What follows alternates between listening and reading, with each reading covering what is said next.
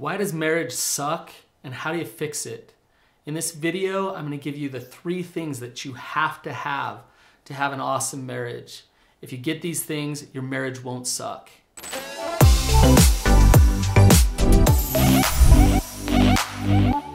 I've worked with thousands of people in miserable marriages.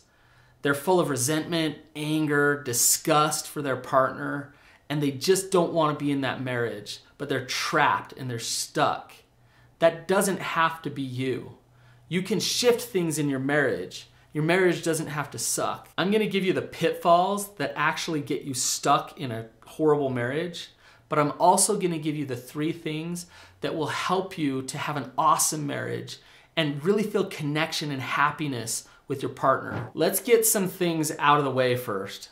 So, first off, Everybody who gets married has one thing in common they're naive enough or stupid enough to actually do it. Now, I get it. I know. I, I love marriage. I'm married myself.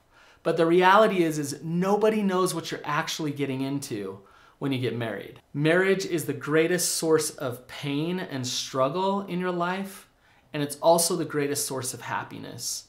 It's a dichotomy. And through working together with somebody, you create love, you create connection, you create happiness together. But it takes work. There's a struggle there in every marriage.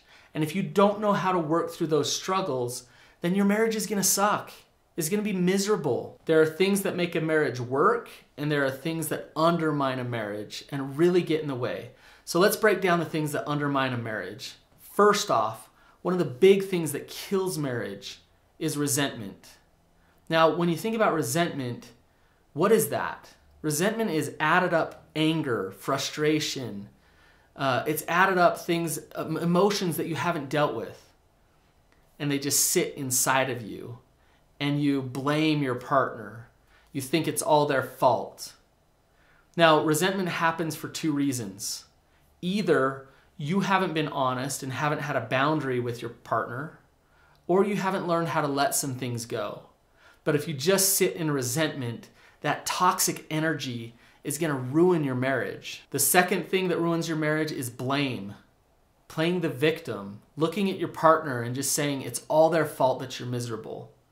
When you stay stuck in blame, you don't do the hard work to actually move forward with your spouse.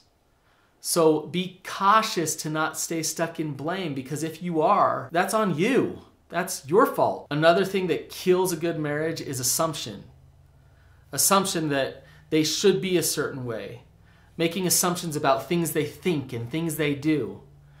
A healthy marriage is about connection, it's about understanding who they actually are. So if you're making up in your mind who they actually are, then you're actually setting yourself up. Now, going along with assumption, expectation is also something that will destroy a good marriage. Expectations are premeditated resentments. You're looking at your partner and you're saying, I want something from you, so that you better give this to me in the future. That's what needs to happen. Let go of expectations. If you let go of expectations, you can meet your partner where they're at and actually connect to them. I guarantee you that your marriage will suck if you're dishonest and if your partner's dishonest too. You won't have trust. You won't have a foundation of safety in your marriage. Dishonesty destroys marriage. So, making a commitment to be an integrous person full of honesty is important if you want a good marriage. It's so interesting to me as a therapist. I'll have couples come in and they'll say that they'll say they want happiness in their marriage. And then they'll get talking about what's going on at home. They'll be sarcastic, they'll be rude, they'll be cutting, they'll be full of resentment and blame. Then they'll turn to me and they'll, they'll say, Help us be happy. We want to be happy as a couple together.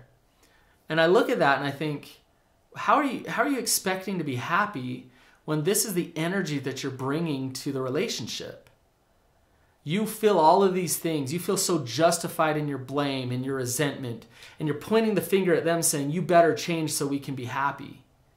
The reality is, is both partners need to be committed to shifting individually so that they can create something different together.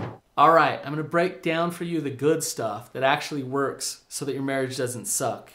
But before I do, don't forget to subscribe to my channel. If you want a good marriage, you have to have trust. There's no way around it. So if trust is not doing good in your relationship, then you're to need to start there. Look at that. Why is trust breaking down?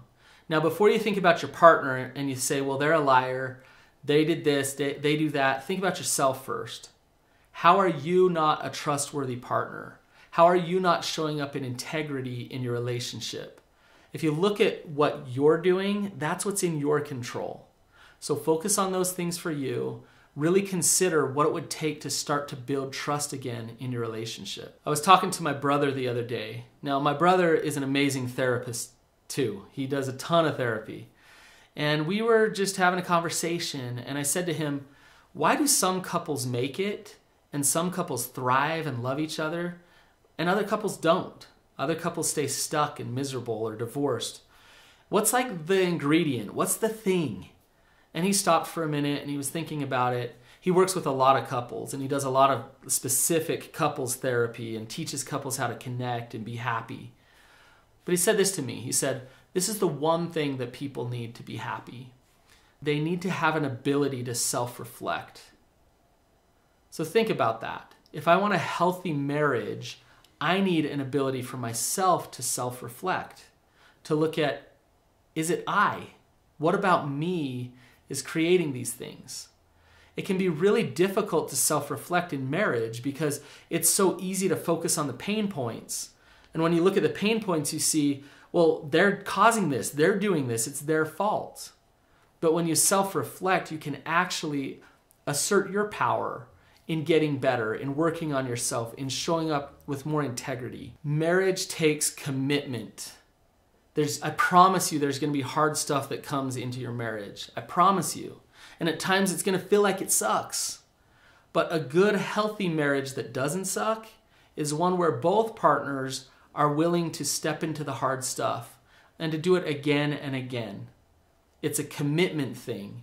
It's not something that you bail on easy or just disconnect or isolate or shut down because it's too hard to work through the hard things with your spouse. When there is something between you, instead of sweeping it under the rug, avoiding it, actually learn how to step into it with them. As you work through those hard things, you're going to feel more connection. Everything is an opportunity for connection. Every discomfort, every conflict. Or you can end up disconnected and angry at each other. It's, it's your choice. Just last week, my wife was bothered about something, uh, and I didn't know what, exactly what it was. So, but I could tell, I could feel it from her that something was off. And so I found the right time. I sat down with her and I said, What's going on?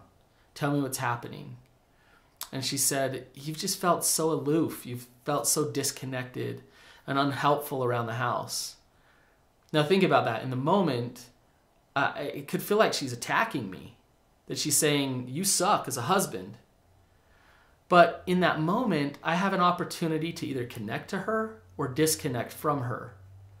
She's opening up to me and saying, I don't feel supported. I don't feel loved. I don't feel like you're there with me. And so I listened to her. I validated how she felt. I owned my part in what I was doing. And I tried to understand why she was feeling the way she was feeling. At the end of that, she gave me a big hug. We were totally connected, and she felt empathized with. Now, think about that example. I could have turned it into a big fight, a big disconnect. I could have resented her and blamed her. Instead, we felt love together. A really good marriage is not one that you're totally connected on everything. In fact, that's a problem. That's what I call enmeshment or codependency. You're overly connected. You don't have an opinion of your own. You, you try to formulate your opinion to be the same as your partner's. That's not healthy. A marriage that doesn't suck is a marriage that has individuality. I like to call it interdependency, where each individual shows up to that relationship, is honest, is boundaried, is vulnerable, in their authenticity. A healthy marriage is not about agreement, A healthy marriage is about understanding and empowerment. So you don't have to agree on everything. The more you feel empowered as an individual, the happier you're going to be in your marriage. One last thing that's very important is respect. If you don't have respect, you're not going to have safety. If there's violence, if there's name calling, sarcasm, abuse, that's obviously going to lead to a bad marriage. So both of you be committed to respecting each other, to being kind, being patient, and getting curious with each other.